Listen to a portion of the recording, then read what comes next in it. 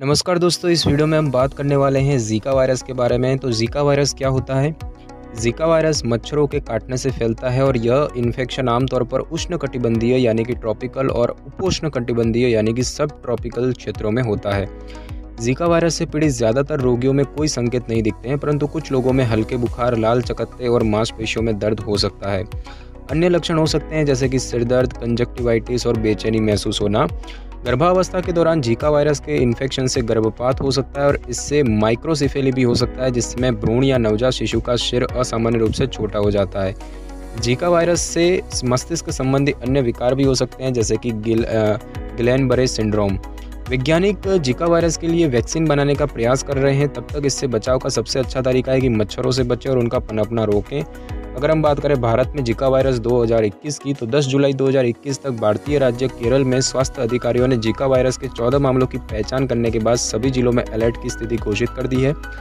केरल की स्वास्थ्य मंत्री वीना जॉर्ज ने तिरुवनंतपुरम ज़िले में इन्फेक्शन की पुष्टि की और ज़िले में सभी नए मामले स्वास्थ्य कर्मियों में सामने आए हैं। और इससे पहले भारत ने 2016 से 17 में पश्चिमी राज्य गुजरात में जीका के प्रकोप की सूचना दी थी। अगर हम बात करें कि ये कैसे फैलता है अमेरिकी संस्थान सीडीसी के अनुसार जीका वायरस इन कुछ तरीकों से फैलता है, जैसे कि मच्छर के काटने से। तो जीका वायरस मुख्य रूप से एक संक्रमित एडिस प्रजाति के मच्छर ए ई इजिप्टी और ए ई एल्बोपिक्टस के काटने से लोगों में फैलता है और ये वही मच्छर है जो डेंगू और चिकनगुनिया के वायरस फैलाते हैं। दूसरा है गर्भवती माँ से भ्रूण तक तो जीका वायरस से पहले से संक्रमित गर्भवती महिला गर्भावस्था के दौरान या जन्म के समय भ्रूण को वायरस दे सकती है। सेक्स के माध्यम से जिका इन्फेक्शन एक संक्रमित व्यक्ति से सेक्स के दौरान उसके असंक्रमित साथी को हो सकता है। भले ही संक्रमित व्यक्ति में उस समय लक्षण ना हो और इसीलिए सुरक्षित सेक्स के सभी नियमों का पालन करना बेहतर है, जैसे कि कॉन्डम का इस्तेमाल करना वगैरह।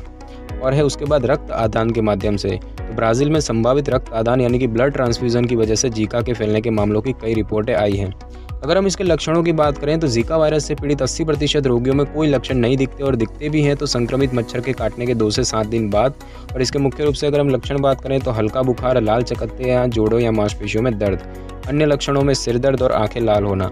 और ज़्यादातर रोगी एक हफ़्ते के अंदर पूरी तरह ठीक हो जाते हैं। अगर हम बात करें डॉक्टर को कब दिखाएँ तो यदि आपको या आपके परिवार के किसी सदस्य को जीका वायरस का इन्फेक्शन होने की आशंका होती है विशेष तौर पर तब, जबकि हाल ही में किसी ऐसी जगह गए हो जहाँ इसका प्रकोप था तो अपने डॉक्टर से संपर्क करें। रोग नियंत्रण एवं बचाव केंद्रों में जीका वायरस और इसी तरह की अन्य बीमारियों, जैसे कि डेंगू तथा चिकनगुनिया वगैरह का पता लगाने के लिए खून की जाँच की जाती है, जो एक ही प्रकार के मच्छरों के काटने से होती है। अगर हम बात करें कि जीका वायरस जो होने का कारण क्या है तो जीका वायरस मुख्य रूप से किसी संक्रमित एडीज मच्छर के काटने से फैलता है और यह मच्छर दुनिया भर में पाया जाता है।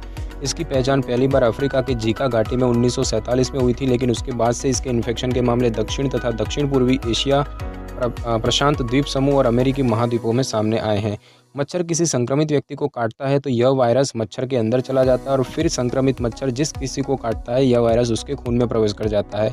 यौन संबंध और रक्तदान से भी इन्फेक्शन फैलने के मामले सामने आए हैं। कुछ परिस्थितियों में जीका वायरस के इन्फेक्शन की आशंका अधिक होती है, जैसे कि जीका वायरस के प्रकोप वाले इलाके में रहना या फिर यात्रा करना। उष्ण कटिबंधीय या उपोष्ण कटिबंधीय क्षेत्रों में रहने से आपको जीका वायरस इन्फेक्शन होने का खतरा बढ़ सकता है। जीका वायरस फैलाने वाला मच्छर दुनिया भर में पाया जाता है और इसीलिए संभव है कि इसके प्रकोप के दायरे नए इलाके आते रहेंगे। जीका वायरस फैलाने वाले मच्छर अमेरिका के प्यूतो रिको और दक्षिण फ्लोरिडा समेत कुछ इलाकों में भी पाए जाते हैं। असुरक्षित यौन संबंध की बात करें तो यौन संबंध से जीका वायरस फैलने के कुछ छिटपुट मामले सामने आए हैं और रोग नियंत्रण एवं बचाव केंद्रों में सलाह दी जाती है कि यदि किसी व्यक्ति ने हाल ही में जीका वायरस के प्रकोप वाले दौरा किया हो तो उसे गर्भवती स्त्री के साथ यौन संबंध बनाने से बचना चाहिए या फिर इस दौरान कॉन्डम का इस्तेमाल करना चाहिए। अगर हम बात करें कि इससे कैसे बचें इसके बचाव के लिए कोई वैक्सीन नहीं है।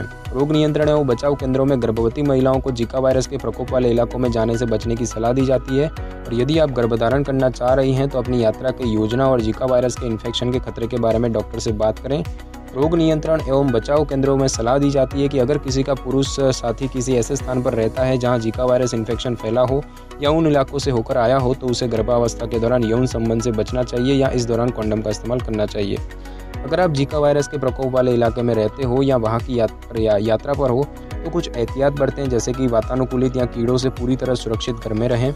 जीका वायरस फैलाने वाले मच्छर ज़्यादातर सुबह से शाम तक सक्रिय रहते हैं लेकिन वे रात को भी काट सकते हैं। अगर बाहर खुले इलाके में हैं तो मच्छरदानी में सोएँ। शरीर को पूरी तरह से ढकने वाले कपड़े पहने। बहुत अधिक मच्छर वाले इलाके में जाएँ तो पूरी बाजू की कमीज़ लंबी पैंट मोजे और जूते पहने। मच्छर भगाने वाली क्रीम का उपयोग करें अपने कपड़ों जूतों कैंपिंग के सामान और मच्छरदानी पर और मैथ्रीन का उपयोग करें। आप ऐसे कपड़े भी खरीद सकते हैं जिसमें पर मैथ्रीन पहले से ही लगा हो। त्वचा पर इस्तेमाल के लिए ऐसी क्रीम का उपयोग करें जिसमें डीट की मात्रा 10 प्रतिशत हो। विशेषज्ञों के निर्देशानुसार उपयोग करने पर पर्यावरण सुरक्षा एजेंसी से मान्यता प्राप्त क्रीम गर्भवती और स्तनपान कराने वाली महिलाओं के लिए भी सुरक्षित पाई गई है।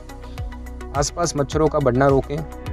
जीका वायरस फैलाने वाले मच्छर जो हैं वो घरों के अंदर या आसपास रहते हैं तो वे जानवरों के खाने के बर्तन गमलों या इस्तेमाल किए गए टायर वगैरह में इकट्ठा पानी में पनपते हैं। मच्छरों की तादाद कम करने के लिए इनका पनपना रोकें।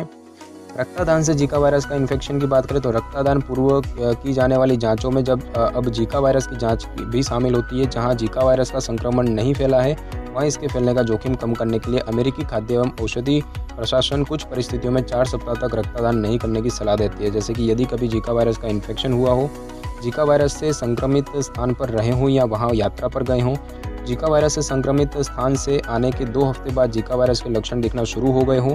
किसी ऐसे पुरुष के साथ यौन संबंध हो जो जीका वायरस इन्फेक्शन से पीड़ित हो, या फिर किसी ऐसे पुरुष के साथ यौन संबंध जो पिछले तीन महीने में जीका वायरस संक्रमित से स्थान पर रहा हो या फिर वहाँ से आया हो। अब दोस्तों बात करते हैं कि इसकी जाँच कैसे की जाती है तो डॉक्टर आपसे अब तक हुई बीमारियों और यात्रा का विवरण ले सकते हैं। डॉक्टर को अपनी अंतर्राष्ट्रीय यात्रा के बारे में पूरी जानकारी दें। मसलन, किन देशों में गए हैं? किसी से यौन संबंध बना हो तो उसके बारे में तारीख से सात, तारीख के साथ बताएँ। और यदि कहीं ऐसी जगह गए हों जहाँ मच्छर रहे हों, अपने डॉक्टर से जीका या किस, इसी किस्म की बीमारियों जैसे कि डेंगू या चिकनगुनिया की जाँच के लिए अपने इलाके में उपलब्ध सुविधा के बारे में पूछें। और ये बीमारियाँ एक ही प्रजाति के मच्छर के काटने से होती है। यदि गर्भवती महिला हाल ही में किसी जीका संक्रमित स्थान पर गई हो और फ़िलहाल उसमें जीका वायरस के कोई लक्षण ना दिख रहे हो तो उसकी जाँच वापसी के दो से बारह सप्ताह बाद की जा सकती है। अगर जाँच में जीका वायरस होने की पुष्टि हो रही हो या ना भी हो रही हो या फिर कुछ पता ना चल पा रहा हो तो डॉक्टर कुछ जाँच कर सकते हैं, जैसे कि अल्ट्रासाउंड करके माइक्रोसिफेली या भ्रूण के मस्तिष्क की अन्य असामान्यताओं की जाँच करना। गर्भवती महिला के गर्भाशय में सुई डालकर एमनियोटिक फ्लूड निकालकर जीका वायरस के लिए जाँच करना। अगर हम बात करें इसके इलाज की तो जीका वायरस से इन्फेक्शन का फ़िलहाल कोई इलाज उपलब्ध नहीं है। आमतौर पर जीका का इलाज लक्षण विशेष का ही होता है। जीका वायरस के उपचार के तौर पर मरीज़ को आराम तथा तरल पदार्थों के सेवन की सलाह दी जाती है और एसिटामिनोफेन और आइबुप्रोफेन वगैरह दवाएँ दी जाती हैं ताकि जोड़ों के दर्द और बुखार में आराम मिले। जीका वायरस से बचाव के लिए अब तक कोई वैक्सीन नहीं बनी है। अगर हम बात करें इसके नुकसान की, इस वायरस के नुकसान की तो गर्भावस्था के दौरान होने वाले जीका वायरस इन्फेक्शन से गर्भपात हो सकता है और माइक्रोसिफिली यानी कि बच्चे के दिमाग का आकार सामान्य से छोटा होना वगैरह हो सकता है। और जीका वायरस से जन्मजात जीका सिंड्रोम हो सकता है, जिससे कि कुछ विकार हो सकते हैं, जैसे कि गंभीर माइक्रोसिफेली, जिसमें सिर थोड़ा चपटा हो जाता है। मस्तिष्क को नुकसान और मस्तिष्क की कोशिकाएँ कम होना, आँखों को नुकसान होना, जोड़ों में समस्या, जिससे चलने में परेशानी, और जन्म के बाद मांसपेशियों में अत्यधिक तनाव के कारण बच्चे की शारीरिक गतिविधि कम होना। तो दोस्तों, इस वीडियो में बस इतना ही। अगर आपको वीडियो अच्छी लगी हो तो वीडियो को लाइक और शेयर करें और कमेंट करना बिल्कुल भी ना भूलें। और अगर आप हमारे चैनल पर नए हैं तो चैनल को सब्सक्राइब करके बेल आइकन के बटन को क्लिक कर लें, ताकि मेरी नई वीडियो की नोटिफिकेशन सबसे पहले आपको मिल सके। Thanks for your time.